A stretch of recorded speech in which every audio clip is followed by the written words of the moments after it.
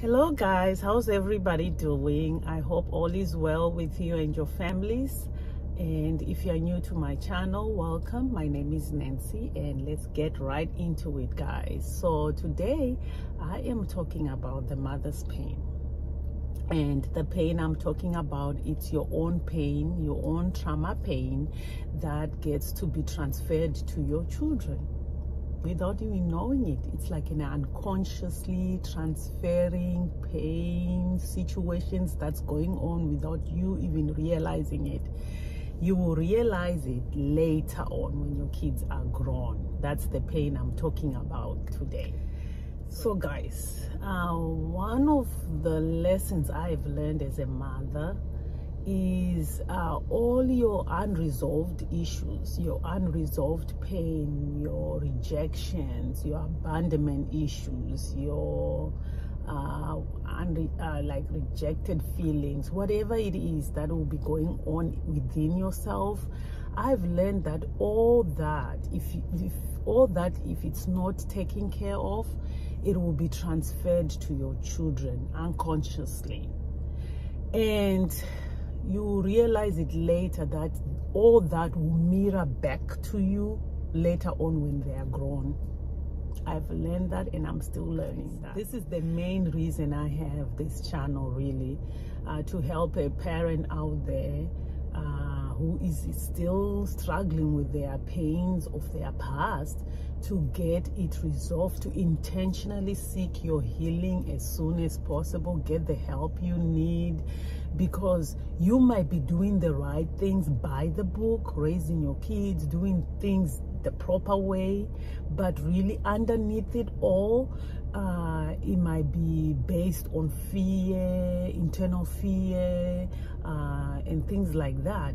And then you find out that later on, your children will mirror all those underlying issues that you had personally. They'll mirror it back to you, and you wonder, how can that be when I raise them the right way? So that's the main reason I have this channel to just, if I can help just one parent out there uh, to not go the wrong path I did, make the wrong mistakes I made, uh, the, so that one parent out there can quickly get the, the help they need to resolve all those uh, uh, pain, uh, rejected feelings, whatever it may be.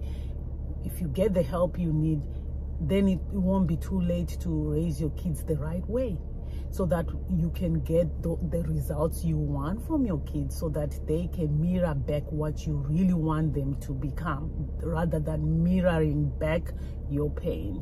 So yeah i hope one parent get uh, learn something from this story and do what you need to do. And you know if that happens we just give god all the glory because he is able to do it for nice. you even though I was doing things by the book the right way with the right intention, trying to teach my kids uh, everything about life, wanting them to succeed, teaching them how to clean, how to cook, how to get A's in school, how to succeed in school, how to play sports, doing all these things by the book the right way. Guess what? My pain was doing the opposite my pain was uh, showing them frustrations, uh, fear, insecurities, instability, uh, showing them uh, perfectionism, showing them um, uh, um, what else? Showing them anger, showing them all this kind of stuff especially the one that got really affected was my first child my daughter because i was really a mess. Uh, so she really got all the baggage because i, I wasn't healed. I, I, didn't know how. So even though i wanted i was trying everything that i was doing was for the right intention i thought my pain actually was doing the opposite uh, giving the wrong vibe the wrong energy you might say. It was it was just the negative spirit that was coming out of me. So that contradiction me doing physically the right things but yet uh emotionally my emotions whatever was going within me they were doing the opposite and then coming out in the wrong way when i am triggered. That created uh, created deeper wounds in my family. So why my family? It's because your family it's it's like your family are the ones that really get to know the real you because the it was easy for me to to create this fake person out there because they don't know me they don't know the real me so they wouldn't they didn't have the triggers to trigger me. But my family uh, because they were the closest to me they were my easy target because they knew what to trigger. They they said the wrong stuff all the time. They you know things like that. So they will know the real you and you become so uh you become the the the the real you and then you show them the real you and then they end up uh getting wounded the most. I don't know if it makes sense. It's like all these things that you are doing now the the fear the negative emotion part you are doing it unconsciously. You don't even know what's going on because you are just looking at the the the, the stuff that you are doing or yeah i'm a good mom i just want the best for my kids not knowing that the other side that op- the pain the pain is showing your family uh it's damaging your family it's wounding your family that's the best way I can explain it. Uh, because that's the energy they are getting the most. You get. And uh, uh, let me give an example here. Uh, let's say my children now, I told them to clean after themselves. Uh, they do their best. They clean after themselves. But to me, I don't see it as clean because I'm failing to see the real deal of what's going on really if a, a, a, somebody who's normal like call it not saying you know uh comes in the like oh this house is clean. But in me because i didn't know what i was cleaning why i kept on cleaning something that is already clean i'm not satisfied within myself. So then i pick up something that even them they cannot see and say oh it's not clean. You do it again. You clean it again because i'm failing to to go down deep within myself and clean whatever i'm trying to clean inside myself. So i take it up on them. You clean it again because it's not clean enough. Or let me say uh, we have an argument with my my uh, husband and i feel threatened. I feel like i'm threatened and instead of looking at the situation that in, as it is no i go back in my past in that in in that particular moment and i try to create this scenery because i'm not arguing now with him. I'm arguing i'm now arguing with my past. I become this thing because I'm not seeing him, I'm seeing my past. I brought my past in the argument now. My the words that I'm uh, that are coming out of my mouth is not towards him, it's towards my past. Let's say I would like say, eh, I'm I'm a lion. I'm a lion. That's my uh my uh, family's uh, totem you know. So i'll say oh i'm a lion. If you come here and want to try and and and and attack me uh, i'm gonna eat you up. You know i'll eat you because i'm a lion. I don't even i'll make sure nobody finds you. I'll eat you. This because i'm not talking to him. I'm talking to my past. You get? So that's what ends up showing up you wanted the situation to be uh, resolved in a nice manner but then no your past went in because it wasn't resolved. It came into that argument and then that that past now ends up because now you're not arguing with your with your husband you're arguing with your past. That's what you want to do to your past. You want to kill it you want to eat it you want to crush it. That's how what you really want to do. But it ends up going to the wrong person and wounding your loved one. So now that your pain has showed up as insecurities as uh, pride issues uh, perfectionism things like that now if you still don't seek help to heal if you still don't uh, find the answers you're looking for the healing that you're looking for then it's the, the that pain just keeps on growing. And then what ends up happening is that pain will start affecting your kids. Your kids will become also runners.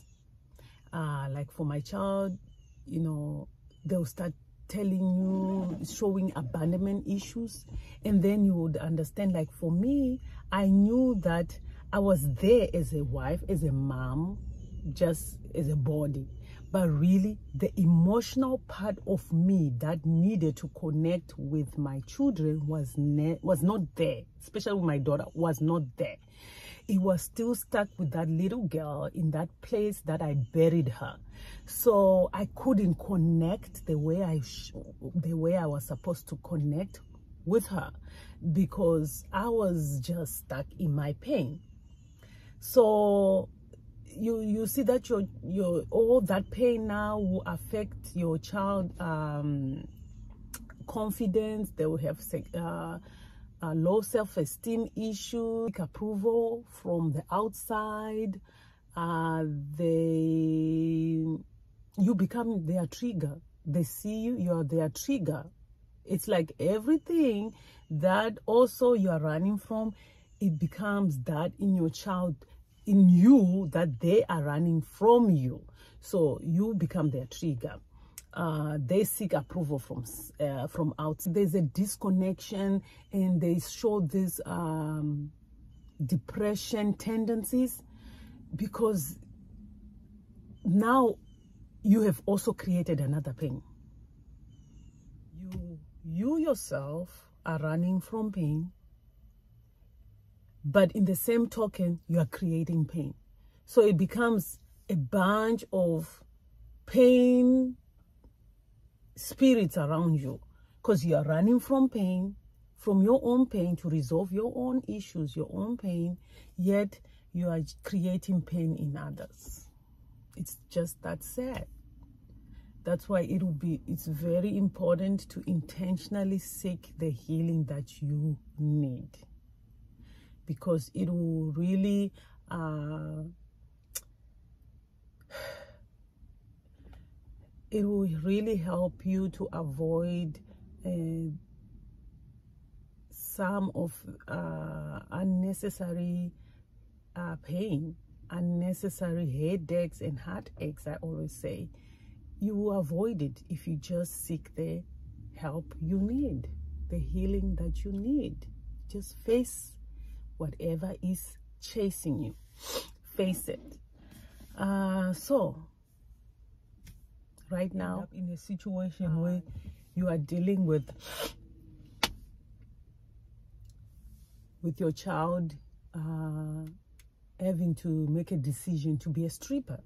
You don't want that because you contributed to that. Whether you want to see it like that or not seeing like that, really for me i see it like that because i had a role i played uh, why would a child in their right mind uh, want to be a stripper unless something is really wrong underneath? So you don't want to be in a situation like that really. You don't want to be in a situation like that. So just seek the uh, the healing that you need. How are we healing? Or how can you heal from this? Uh, as for me as a mom uh, when i started seeing that that mirror mirror mirror on the wall tell me who's the greatest of all the mothers out there. And when that mirror started telling me uh, not you. You are not even close. This is your result of your mothering. When that mirror started showing me what I had done, how I had raised my children. Uh, so this is the thing, guys. Even if you are healed or you are in your healing journey, uh, what happens is your if your children of or your child is not in that healing journey with you you're not on the same page it doesn't matter even if you're in that healing journey uh, they keep displaying that pain that you deposited in them. They keep displaying that. It's it's they have to themselves and i i, I don't want to say it, if if you got your healing too late uh, then this will happen. It's like if if your children are already grown and now you're seeking this healing let's say they are now in middle school now you're seeking this healing the important part of their lives you already deposited what what needed to be deposited at that time. So that's just going to come out of them whether you like it whether you healed or not healed. It's just gonna come out. It's only until they themselves seek healing for themselves that uh, and let go of the mistakes that have been made that you can both just uh, walk in that total healing. So yeah that's my the situation that happened. But before i was healed when i started seeing uh, the the the real deal the mirror what was reflected back to me uh, that's when i really sought for god really. I i went to god. Yes i just went to god because I did not know anything. I did not know any therapies, uh, therapists. I mean, I did not know anything like that. The only thing I knew at that point was God. So I went to Him and asked for His help. In those effects on my children, I, I was so desperate. I became so desperate for this healing. I wanted to know how, how, how do I forgive this monster? Because that's what I saw him at that time. How do I forgive this monster? How do I move on? How do I let go, God? How, how, how, how? I wanted to know the how because I didn't know how. So when God started teaching me the how, it, it was little baby steps. It wasn't even overnight. I'm not going to tell it was not even overnight. Like i always tell you some things even till today i'm practicing over and over again every day because this thing is a journey. Healing is a journey. So i i i i just wanted to know how and when god showed me the how i just kept on doing it and doing it. And i needed to know how do i forgive myself? Because uh, how do i love myself? And how do i uh, make this right with my kids. I asked my after the healing process or the healing, the first healing phase or second healing phase. I don't know how many healing phases I phases I have had. I when when I would have this confrontation over and over with my children, I would just constantly ask for forgiveness and you know ask them for for their for uh, for their forgiveness with no making excuses or trying to look good or anything i just you, I just ask for forgiveness. And as for my daughter, when I see her in those anger issues or if I see any any of that of my pain be, being displayed in her since she was the sponge of my pain uh, mostly I I just keep on telling her and encouraging her to just uh, forgive, let go, and I constant constantly push her to go into therapy. Uh, it's not been easy, but you know what? I'm not pushing like pushing hard or trying to to to force it on her i'm i just encourage her. You need to find therapy so you can talk to somebody and you know resolve whatever your mommy did that's really hurtful. So if i see that she keeps on going in that cycle i just also keep on giving her advice to to to go to god have a relationship with god uh, seek help find since you don't want therapy uh, therapy sessions with me you can find a therapy session with, by yourself a therapist by yourself but you know i just keep on praying about it on her own time. I have hope she will get the help that she needs. Uh, she will let go. She will eventually, truly, truly forgive and move on. But I'm, I will not lose hope. I'm just hopeful that it will happen someday. Now, as a mom, also, I am not going to throw in uh, my mommy duties because uh, I have failed. I have forgiven and I've moved on. I will still be the mom to my kids uh, and knew that uh, a better mom. I can only be a better mom, learn from my, my mistakes and be better. So I'm not going to fold my hands and say, well, just because I did what I did, now I cannot uh, uh, say some, if something is wrong, I cannot stand and say something because I don't want to create another pain. I have to now it's it's the way I say it and it's the way I I the way I talk to them about the situation that's at hand that matters. But that being said it doesn't mean that just because I'm I am her trigger uh, I shouldn't be a mother. Now I'm a better mom. So they have to see that that i'm a better mom right now. I don't have to push anything on them but also i don't have to back up to say what is right or give them advice uh, on an issue just because i don't want to trigger them. I have to still be a mother. Uh, it's just how i do it now that is different. But uh, i'm i also still push for them to do better.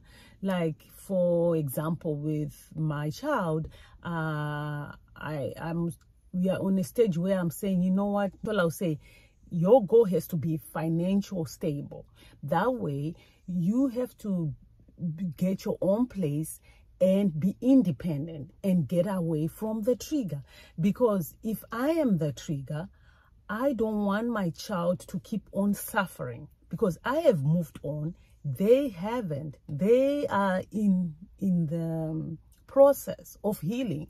So i try to i try to help my child to tell her that you know what? It's better for you to really be financial stable and move on to your own place because once she's away from the trigger her healing will go faster. So that's the stage we are in right now for her to be financial stable and so that she can move away from all the triggers and and get the healing that she deserves, the healing that she needs. Yeah, so guys, so really I'm just trying to at this point uh, I'm just helping my my children to uh, to go on a healing journey to have a personal relationship with God because they are grown now. Uh, so that's the, the, the the route I'm taking, and also I am trying also to build a, our relationship on. A, on a, on a strong foundation this time since uh, my relationship with them was built on a shaky foundation, a foundation that was full of fear, insecurities, and so forth. And it all came crashing down. So, right now, at this point, I am not pushing anything, but I am being a mother that they need. I'm, I'm just to be there for them, and I'm believing in God and staying hopeful that one day when they are ready and in and in uh, God's timing, our relationship will just get better. We have that loving, strong uh, relationship built on God's principles and God uh, way. So that's what I'm hoping for. So my advice to you if you're a parent that is in the same situation like mine that uh, you are already healed but you already have grown kids that uh, sponged in all your painful past and now they are mirroring back all the pains that you were running from. Yet you're already healed but they are not healed. They have to deal with this this pain that was uh, deposited in them. If you're in that same situation i can only say you know what? Don't lose hope. Stay prayerful in god's timing. It will all work out. I'll just stay hopeful and don't push it. Just keep on praying for your relationship and keep on uh, pushing them pushing your children to become better than you to seek their healing earlier before they even get married themselves. That's all you can do. And if you are that parent that uh, is still not healed and you have kids intentionally seek your healing because you can do the right things right now but if you have those underlining issues like unresolved feelings unresolved pains insecurities uh, things like that then really that's what's really is getting deposited in your children. And they will definitely mirror it back when they are grown. You won't see it now because right now you are in control. So you won't see anything now you start seeing the result of your pain when your kids are starting to mature now going into those teenage years. That's when you will see that oh my goodness what's going on. So i'll say intentionally seek your healing. Do what you need to do to get the help you need so that you will see the the the, the things that you want to see uh, in your kids be mirrored back to you and if you haven't been married if you're not married yet no kids yet that's the best time. Just seek your healing right now. If you went through any kind of pain in your life make sure you forgive you let go give it all to god. Commit all to god. He is able. He is able to heal you. You it's it's he's no respect of persons. He can heal you. If he healed somebody like me he can heal you and just remember, the journey is not like an overnight thing. It takes some time, but it's worth it at the end. And you don't want to end up in a situation like mine anyway. So if someone is telling you their story, just try to avoid that direction and you go the easy path, which is to listen to their story and say, you know what, mm -mm, let me go God's way immediately. Start now. And then you know what? Your children will mirror the very thing that you want them to mirror back to you. So this is it guys. I hope this helps some parent out there. And i pray that you know what you never walk the the same path i went through because it it has it's it has ne it I, I can't even say the right words. It's not been easy but God is faithful and He's able, and I'm hopeful, and I know the, there's light at the end of the tunnel. So, have a blessed week. Thank you for watching, and I'll see you in my next video. Thank you. Bye.